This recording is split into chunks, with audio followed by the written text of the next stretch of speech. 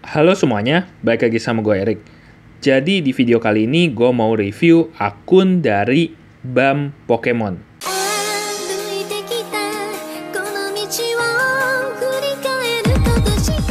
Sebelum lanjut ke videonya, gue mau ngasih tahu kalau review lagi nggak ada antrian loh. Jadi buat kalian yang mau akunnya di review atau mau digacain, bisa langsung DM ke Instagram gue, Erik Vermilion, kecil semua, atau link ada di deskripsi ya.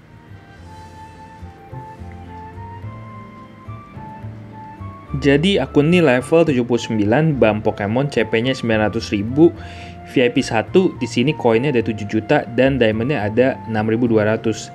Nah, yang sedikit spesial di akun ini tuh dia ini main di server neraka cuy. Maksudnya server neraka itu apa? Itu server 12 yang banyak sultan ini kalau kalian lihat ini rankingnya dia ranking berapa di sini kan? Dia 900 ribu cuy, ranking 76 di server ini. Karena saking banyaknya sultannya gila, gila. Ini sebenarnya agak sayang sih. Sebenarnya 900 ribu di server gua aja tuh udah bisa top 10 atau 20 di server neraka ini level 76 gila memang. Oke lah, di sini gue mau ngeliat ke formasinya dulu. Oke, di sini gue auto aja ya formasinya. Formasinya dia berarti di sini mainin Moltres Charizard X ya seperti biasa. Di sini dia juga masih menggunakan dua ini yaitu adalah Gyarados Suicune yang bisa dibilang kayak Pokemon lama sih. Tapi di sini yang Pokemon barunya dia ada Dialga. Oke. Coba di sini seperti biasa kita mau coba lawan dulu ya. Di sini CP kita 900.000. Coba kita lawan dia aja ya. Dia musuh juga cuma menggunakan satu S plus yaitu adalah Kyogre dan sama-sama VIP 1 juga. Yuk langsung aja kita coba. Berarti ini sebenarnya ngadu ini ya. Moltres Charizard X siapa yang lebih dulu bekerja? Yuk langsung aja kita mulai. Di situ kalian lihat tadi posisinya Hondom sama Suicune kebalik. Kalau gue sih kayaknya gue lebih milih Suicune sih yang di depan. Soalnya untuk ngurangin range lawan. Oke lah di sini kita lihat pertandingannya di sini gue naikin dulu. Nice langsung nyerang ke Moltres musuh. Nice di sini Skizor musuh nyerang ke ini kita. Oke. Ini sebenarnya posisi eh, bukan posisi Pokemonnya sebenarnya bersama ya. Tapi sini kita menang speed ya semua Pokemon kita. Soalnya ini apa sih namanya? Kita pakai Suicune di sini. Jadi emang speed kita ini sih lebih tinggi. Tapi kayaknya emang kita lebih dibuild sih. Soalnya musuh kok beneran nggak ini ya lama banget ya. Oke sih kita hampir semua udah mendapat rate semua nice. Cuma sayang Moltres-nya belum, tapi sih Charizard X udah mendapatkan ultimate. Di sini agak sayang sebenarnya. Oke. Nah, itu kalian lihat kopiannya si Oh, kali ini baru lebih cepet. Tadi itu kena slow apa gimana ya? Oke, nice. Nyerang langsung ke Kyogre-nya, apakah Kyogre-nya langsung mati? Ke, ke belakang, nice. Charizard X-nya mati. Berarti kombonya udah nggak bakal berjalan ya. Apakah dia agak langsung matiin Moltres-nya? Kalau langsung matiin Moltres-nya sih menang sih. Wah, belum mati ternyata. Oke, nyerang ke sini. Cuma sayang, karena tadi yang seperti yang gue bilang Moltres-nya belum. Jadi yang bisa dimatiin cuma yang di depan doang. Oke, berhasil matiin. Wah, enggak dong, nggak berhasil matiin. Nice, tapi ini untung banget Suicune ultimate-nya pas banget. Ternyata gue juga salah sih. Dia pinter kalkulasiin ultimate si Suicune ini. Jadi beneran ultimate tuh pas gitu loh. Nice. Moltres-nya juga langsung mati. Barulah diakhiri dengan si Moltres ya. Oke, Moltres-nya Moltres 300 ribu. Oh, ternyata belum berakhir ya. Gue pikir udah berakhir. Oke, nggak masalah. Cuma Skizor sendiri. Masih tebel-tebel juga kita yang di belakang. Nice. Oke. Mati. Skizor musuh lumayan tebel ya. Oke. Akhirnya selesai juga ya pertandingan. Itu tadi di ronde pertama. Untungnya karena kita lebih cepat semua sih speednya. Jadi ya emang sangat menguntungkan kita semua udah jalan baru Pokemon musuh jalan ya semuanya ya. Sebenarnya untuk ukuran free to play ya VIP 1 gue bilang sih sebagai free to play juga ya soalnya kan mungkin dia cuma top up untuk dapetin si Green Ninja doang jadi nggak bisa dibilang kayak Sultan atau cash player gitu loh. Jadi ya gue bisa bilang kayak masih free to play. Cukup lumayan oke sih komboannya. Di sini yang paling sakit ternyata tuh Gyarados ya. Di sini pantas tadi Gyaradosnya pas yang dia ultimate langsung dua lo mati. Bahkan dialganya aja tadi yang ultimate kan lihat Moltres-nya ke musuh itu nggak mati loh. Tapi Gyarados-nya ultimate mati ya mungkin gue tahu. Kan juga ada faktor efektif juga ya. Kan si Charizard juga elemen api. Tapi itu tetap OP sih. Oh pantes Gyarados-nya di sini udah bintang 12 ini kan udah Mega Charizard udah pasti bintang 12 Moltres-nya di sini bintang 11 Dialganya bintang 5 Hondome bintang berapa ini 10 Terus di sini Suikunnya bintang 9. Ini sebenarnya formasi yang cukup menarik ya. Soalnya udah jarang yang masih pakai Gyarados sama Suicune di meta sekarang. Rata-rata orang ya makanya sih kayak Tiranitar yang kayak gitu-gitu sih. Udah jarang yang pakai Gyarados gue lihat. Oke lah, sekarang gue ngeliat ke Brick Truck-nya. Dia emas plus 2, emas plus 2, emas plus 2 kecuali Suicune emas plus 1.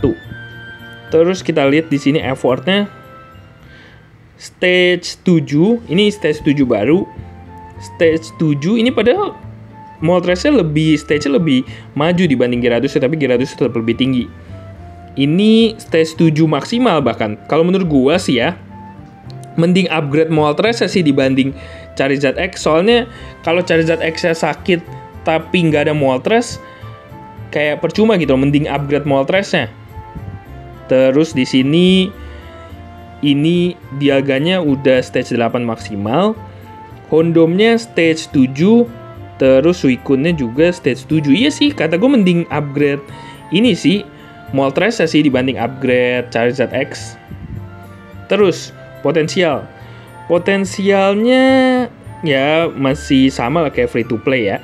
Dia cuma setengah ke atas dan birunya maksimal. Tapi di sini yang menariknya ininya udah maksimal sih. Yang ultimate udah hampir maksimal. Untuk Moltres-nya Moltres-nya ya ini setengah ke atas semua. Charizard X-nya setengah ke atas juga semua. Untuk Dialga ya sama setengah ke atas. Ininya kondomnya setengah ke atas dan ini juga sama. Berarti emang ya emang free to play ya setengah ke atas semua. Terus di sini gue mau ngeliat ke health item. Health itemnya Gyarados di sini dia pakai HP untuk Gyarados HP kayak gini sih ya karena dia ditaruh di depan sih ya gue setuju setuju aja sih. Terus Kingstroke dipakai ke Moltres gue bilang sayang sih Kingstroke dipakai ke Moltres mending dipakai ke Suicune atau ke Hondom aja terus di Moltres ini lebih kasih ke damage lagi kalau ada sebenarnya ya soalnya sayang sih Moltres dipakai ini soalnya kalau combo Moltres sama Charizard X itu yang harus dibuild itu sebenarnya bukan Charizard X ya tapi Moltres-nya. Bi jadi biarpun Charizard X itu nggak ada, yang Moltres itu masih tetap bisa ngalahin gitu loh. Daun ini nggak dipakai, terus ini cukup menarik ya, ini beta komunikator. Ini kalau kalian yang nggak tahu, ini tuh bisa didapetin dari mall ya, yang ini Cross Server Arena. Ini cross server, eh bukan kalau eh enggak PVP Arena ya.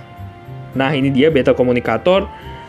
Tapi sebenarnya gue ngeliat juga banyak yang nggak make sih biarpun itu bisa dibeli. Jadi ya menurut gue ini kurang bagus ya. Biarpun gue sendiri kurang tahu efeknya itu kayak gimana. Coba kita lihat. Uh, PVP damage bonus 4 terus PVP damage reduction oke. Okay. Damage by skill 40% to remove 1 sampai 2 negatif efek.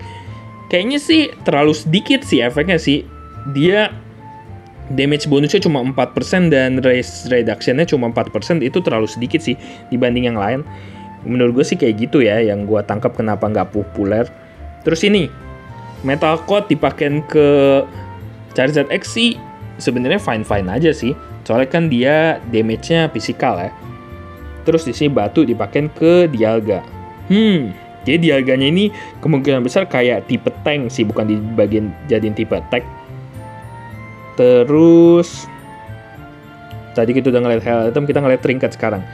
Gyarados-nya di sini ya seperti free to play dia diratain semua bintang 3. Ini juga bintang 3 semua dan attack-nya awaken 1. Di sini defense-nya awaken 2. Di sini ya diratain semua bintang 3. Ini bintang 2 bintang 3 tapi lebih banyak bintang 3. Hondome bintang 3 semua dan Suikunnya bintang 3 semua. Berarti emang dia diratain semua ya. Ini sih sebenarnya ya gue lebih seneng kalau misalnya Moltres di build maksimal sih soalnya lebih dibanding Gyarados soalnya Moltres itu ya lebih sakit dan serangannya area gitu loh terus kita ngeliat Runestone. Rune paling sakit tapi ada di Moltresnya dia PvP tag bonus. Ini rune-nya kalau bisa di iniin lagi ya. Diperbaiki lagi. Soalnya efeknya itu lumayan banget loh. Kalau nggak tahu gimana caranya ya ini gitu loh. Setiap hari gacha aja. Ini sampai selesai gacha 10 kali. Ini kan maksimal gacha kan 30 kali. Ya udah ini gacha aja. Nanti juga dapat kok rune ungu untuk nyelesain ini terus untuk di sini Gyarados crit rate sama PvP tag bonus. Iya nih balik lagi ke yang tadi. Efeknya itu efeknya kalau seset itu itu penting banget sih. Jadi harus dirapihin lagi nih rune bonus ini bahkan nggak ada bonus. Ini rune sih harus diperbaiki sih. Ini juga nggak ada bonus. Ini Charizard X cuma heal steal heal steal. Nggak penting di Charizard X soalnya dia damage itu kayak burst bukan kayak perlu sedikit-sedikit block rate sama PvP damage reduction ini lumayan sih sebenarnya. Tapi kalau kayak begini mending Suicune aja yang ditaruh di depan soalnya kan udah dibikin dev juga ya. Terus di sini device ini plus 16 plus 15 8 7 8 ini 3 3 2 1 ini sih kayaknya birunya harusnya bisa lebih tinggi lagi sih ya. Cuma mungkin kalau udah di level segini sih masalahnya bukan nggak punya bahan tapi kayak nggak hoki sih. Jadi ini untuk di level segini dan ini segini harusnya sih udah lumayan ya. Terus sekarang gue mau ngeliat ke figurnya. Figurnya di sini udah lumayan sebenarnya dia udah beli beberapa yang pakai diamond dan di sini dia belum kebuka sih yang skill kedua. Menurut gua sih skill kedua itu boleh sih dibuka biarpun pakai 500 diamond ya.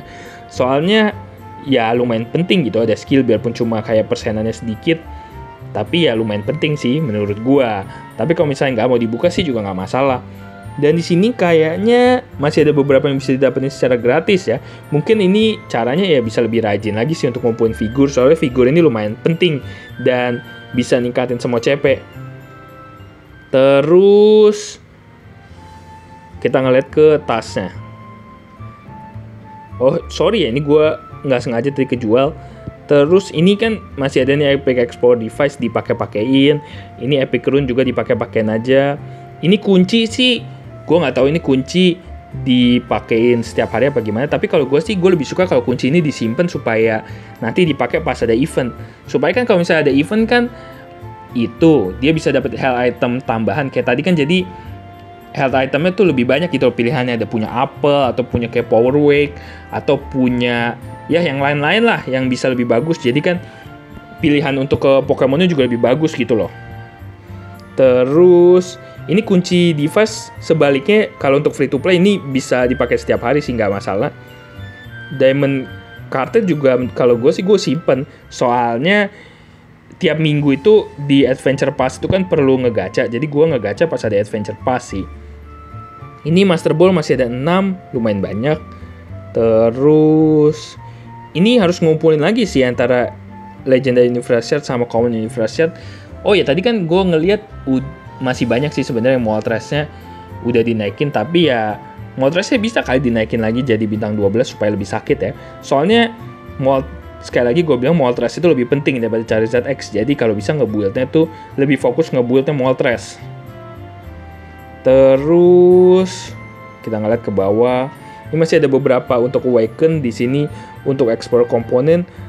Terus di sini juga effort coinnya sama ini emang cuma tinggal sedikit sih berarti emang udah dikasih lihat tadi emang udah dibuild semua. Ini dia punya beberapa shard dari ini dia beli waktu di Black Friday ya. Ini cuma 555. Ya, yang penting asal nggak ngegacha sih. Soalnya sayang banget kalau ngegacha cuma satu kali ya. Terus ya, mungkin segitu aja sih yang bisa gue bilang ya. Yang paling saran yang bisa gue berikan sih ya tadi perbaikin rune-nya. Rune-nya itu sayang banget loh. Tadi masih berantakan kayak gitu. Padahal rune itu kalau dibagusin bisa jadi pemberi CP paling banyak. Gue, gue sendiri juga udah ngerasain. Oke lah, kayaknya sekian aja untuk video kali ini. Bagi kalian yang suka sama videonya, silahkan klik like dan subscribe. Terima kasih.